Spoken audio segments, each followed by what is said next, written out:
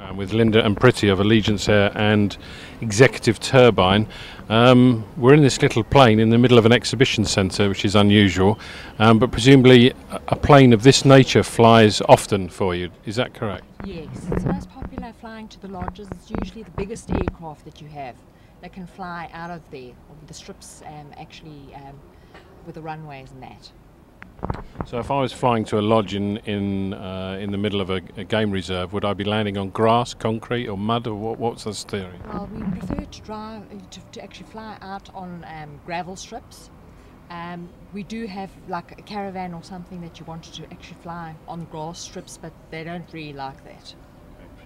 On our King 200, we prefer to use um, tarred strip or gravel strip. It has to be hard gravel. The we can just grass strips, caravans. We use that. We we actually comfortable. We do have a caravan fleet as well. Okay. Um, and what sort of clientele do you have, Pretty? I mean, is it presumably this this looks the sort of thing you're gonna have to have a lot of money to uh, to be on? Mainly, we deal with corporate clients. Most of the clients are corporate clients. These big So in other words, big money. big money, big money. Big companies. We deal with big companies like, if I mention one, Sasol is one of our biggest clients. People like De Beers Marine, they're one of our clients as well. Okay. Um, once once the plane takes off, do you have an in-flight service, or do people just sit and look out the window? What's the what's the story there? Depending on the size of the aircraft, like for instance, if it's got a stand-up cabin aircraft, like we've got a 1900D, Beechcraft 1900D, we'll then have a hostel on board. Our Embraers have got a hostel on board. It all depends how big is the aircraft. There has to be a stand-up cabin to be able to have a hostess on board. If a client requests, we all available to provide the service that the client wishes to have. Okay, but it's not just charter you do. I think you do some uh, you do some scheduled services. Is that correct? Yes, that's one of our divisions. We've just started um, with two new routes out of Eastgate Airport and out of Madikwe as well, out of Lanseria Airport. And they've just started, they've been going for about a month now, and the Mozambique route's just over a year old out of Lanseria Airport to Vilanculos and to um, Umbabane. So when you say Lanseria Airport, is that at Johannesburg? Yes, just under. So would would you do you get a fair number of people that would actually do international transfers? They ca- get off a seven triple seven and then get onto your aircraft and go out into the bush, so to speak. Absolutely. Yes, they would, obviously, if it was out of Tambo, they would get a transfer to Lanseria Airport. And uh, how has the company been going? 12 years. You said that without moving your lips. It's no, because now there is this merge that we've just did with Allegiance Air.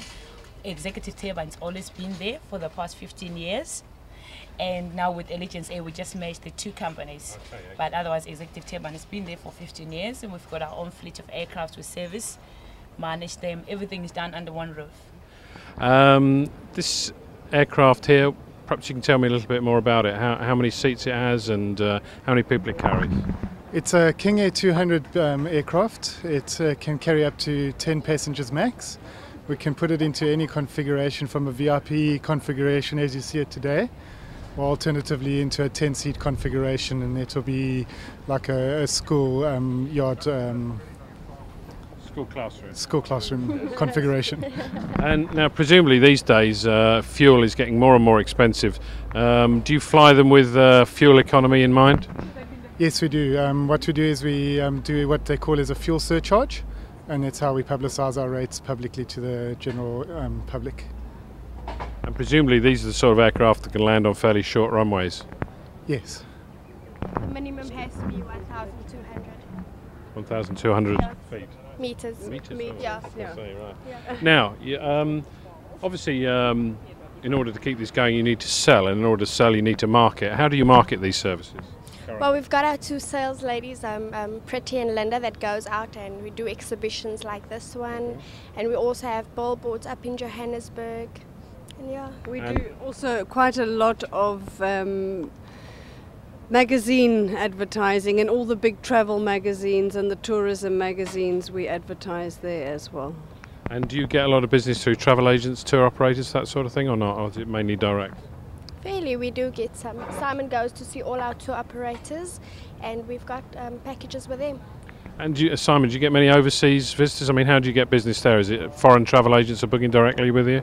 Yes, we do have a number of foreign travel agencies on our books. Um, we predominantly pride ourselves in Mozambique, and a lot of our work comes from the Mozambique operators, and we do have a number of operators from various parts of the world as well. And Debbie, finally, do you, do you uh, do a lot of electronic marketing? You use the web effectively or not yet? Not as much as we would like to. We're still uh, lagging a little bit electronic wise, but we're getting there. We we're making progress.